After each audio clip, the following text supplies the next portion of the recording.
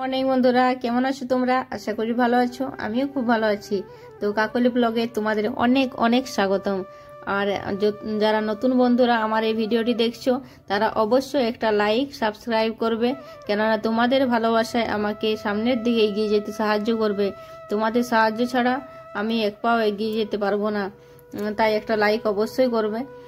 তো যাই হোক, সকাল সকাল দেখতেই পাচ্ছ, আমি মাডুল দিয়ে দিয়েছি।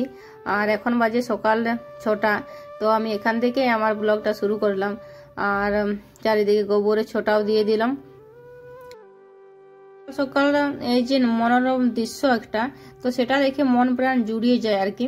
তো এদিকে তো আমাদের সূর্য মামার দেখা সাক্ষাৎও নেই তিন দিন ধরে।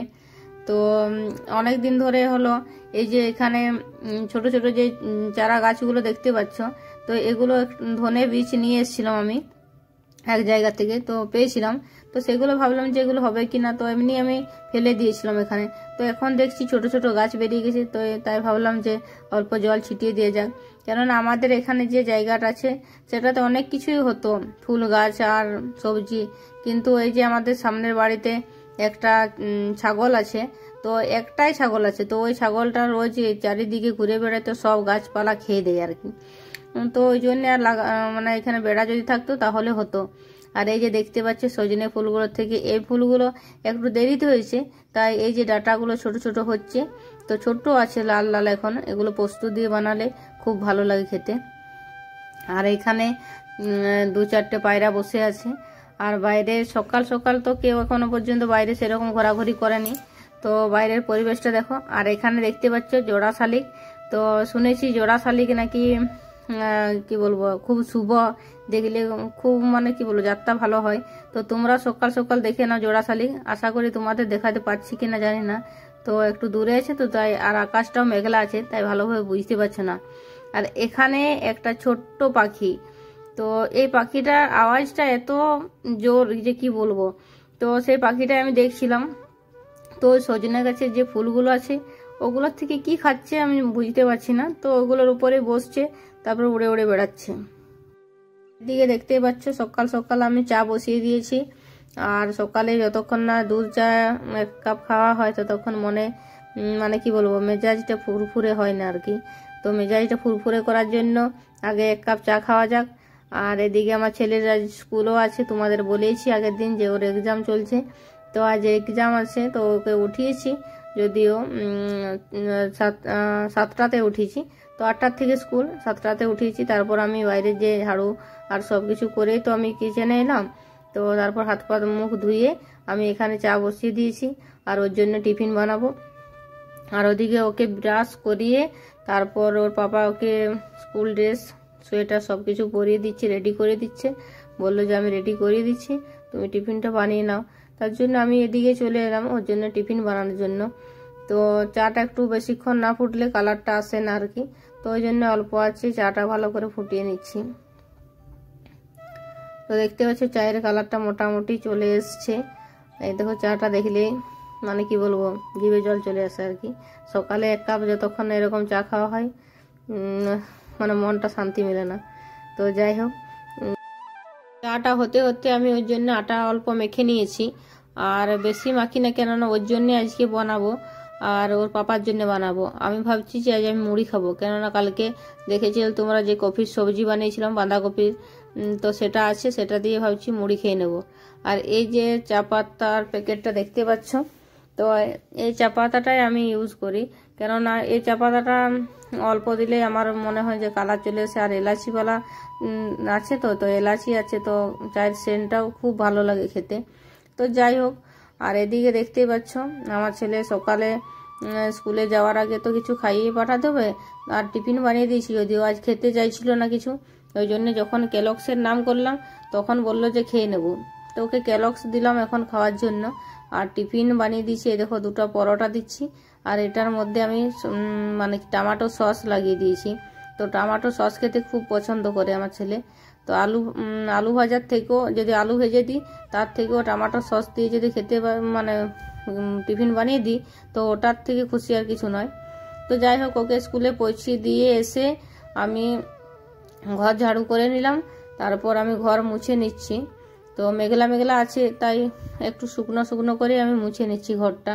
কেননা বেশি ভিজে ভিজে ভাব থাকলে ঘরটা এমনিতেই মাটি মানে কি বলব সানে পা দিতে ইচ্ছে করে না। খুব এখন তো রোদও দেয়নি, তাই ওই জন্য খুব ঠান্ডাও লাগছে। ঠান্ডাটা একটু বেড়ে গেছে, এই দুদিন হলো। রোদ দিলে হয়তো এত ঠান্ডা লাগতো না। তো আমি চারিপাশটা ভালো করে ঝাড়ু আগে মেরে নিয়েছি, তো এবার ভালো করে মুছে নিলাম। আর এদিকে গুছানো হয়ে গেছে, আর বিছানাপত্র সব কিছু ঝেড়ে পরিষ্কার করে ঘরের ভিতরে রুমে, এর ভিতরের বেডটা ভালো করে ঝেড়ে নিয়েছি পরিষ্কার করে নিয়েছি, আর এখানেরটা ভালো করে মুছে পরিষ্কার করে নিলাম। আর এই ঘর দুয়ার যতক্ষণ না ঝা চকচকে হয়, ততক্ষণ কি বলব, মনে হয় যে কিছু কাজেই হয়নি আমার। তো এগুলো আগে পরিষ্কার না করলে তো কোনো মানে কি বলব, কাজ করছি বলেই মনে হয় না।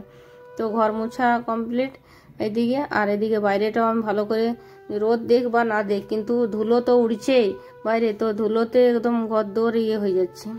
তো দেখতেই পাচ্ছ, আমি স্নান কমপ্লিট করে নিয়েছি।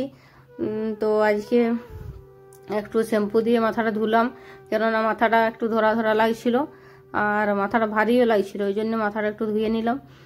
আর আমার ছেলেকে স্কুলে আনতে যেতেও হবে, তো ওই জন্য ভাবলাম আমাকে স্নান করে নিই। তারপর আমার ছেলেকে স্কুলে নিয়ে এসে তোমার সাথে দেখা হচ্ছে। তো যাই হোক, ওকে স্কুল থেকে নিয়ে এসে আমি রান্না বসিয়েছি। তো রান্না বলতে আজকে এটা দেখতে পাচ্ছি, সোয়াবিন। তো সোয়াবিনের সবজি বানিয়েছিলাম, আর ভাত আর শাক ভেজেছিলাম। তো যাই হোক, আর দুপুরে খাওয়া দাওয়া কমপ্লিট করে নিই, আর তারপর তোমার সাথে দেখা হচ্ছে। তো দুপুরে খাওয়া দাওয়া কমপ্লিট হয়ে গেছে, তারপর কিছুক্ষণ রেস্ট করে নিয়েছি তাই ভাবলাম যে আজকে কিছু জামা কাপড় আছে যেগুলো আয়রন করা মানে দরকারই আছে অবশ্যই। তো এগুলো যেহেতু কটন প্যান্ট তো কাচার পর কীরকম একটা জড়ো জড়ো ভাব হয়ে যায়, তাই ভাবলাম এখন ফাঁকা টাইম আজ যেহেতু মনে পড়ল। এই কাজটা মানে কি বলব সব থেকে আলসেমির কাজ একটা। তো আজকে যেহেতু মনে পড়ল আর টাইমও ছিল সেরকম, তো তাই ভাবলাম যে আগে এগুলো আমি প্যান্ট দু তিনটে প্যান্ট ছিল, তো সেগুলো আমি আয়রন মেরে নিই। কেননা আর পরার মানে কি বলব, একটা পার্টি যাওয়ার আছে কাল। তো সেটা তো দরকার হতে পারে যদি পরে যায়, তার জন্য আমি এগুলো ভালো করে আয়রন মেরে নিচ্ছি। কেননা একটু জড়ো জড়ো মানে ভাঁজটা ঠিক মতো লাগে না, যতক্ষণ না আয়রন করা হয় এরকম কটনের প্যান্ট। ওই জন্য আমি এগুলো ভালো করে আয়রন করে নিই। যাই হোক, একটু টাইম বাকি আছে এখনও সন্ধ্যা হতে বাকি আছে, তো এটা করে মানে আয়রন করে তারপর সন্ধ্যা প্রদীপ দেখিয়ে আবার আমার ছেলেকে বই পড়তে বসাতে হবে। কেননা ওর এখন এক্সাম চলছে তো, আর কি কি সিলেবাসে আছে, তো সেগুলো যদি বা হয়ে গেছে সব কিছু কমপ্লিট ওর, তো তাও একবার করে দেখিয়ে দিতে হবে, যে কি কি আছে। ও যেহেতু এখন তো ছোট, তাই ও এত বুঝতে পারবে না যে কি আসবে মানে কি কি আছে সিলেবাস আর কি। ওগুলো আমাকে একটু বলে দিলে, ওকে মনে করে দিলে মানে খুব ভালো হয়। ওই জন্য ওকে পড়তে বসিয়ে দিয়েছি। আর ও মানে কি বলব, ও লিখছে, তো টিউশনের হোমওয়ার্কও আছে, তো সেগুলো বলছে এখন কমপ্লিট করে নিচ্ছি। তো আমি বললাম যে যা যেটা ভালো বুঝে করো, আর আমি যেটা এক্সাম আছে কালকে, তো সেটা আমি একটু ভালো করে দেখিয়ে দিচ্ছি ওকে।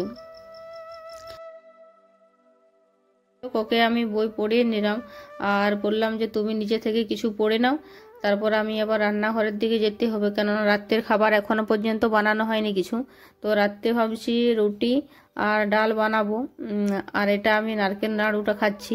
তো আটা বার করার সময় ওটা চোখে পড়ল ভাবলাম যে একটু খেয়ে নিই, কেননা ওটার লোভ সামলাতে পারলাম না। আর এদিকে আমার আটা মাখা কমপ্লিট হয়ে গেছে, দেখতে পাচ্ছ। আর তাওয়াটাও চাপিয়ে দিয়েছি যদিও। তো ভাবছি, আর আজকের মতো ভিডিওটা এই পর্যন্তই। তো কাল দেখা হচ্ছে আবার একটি নতুন ভিডিওর সাথে। ততক্ষণ তোমার সুস্থ থাকো, ভালো থাকো অ্যান্ড দেখতে থাকো মাই চ্যানেল আর অবশ্যই একটা লাইক করে দিও ভিডিওটি দেখার পর। জানি অনেকে দেখে আবার চলে যাও, তো লাইক করতে ভুলে যাও। তো অবশ্যই একটা লাইক করে দিও বন্ধুরা। তো যাই হোক সকলকে টাটা, শুভরাত্রি বাই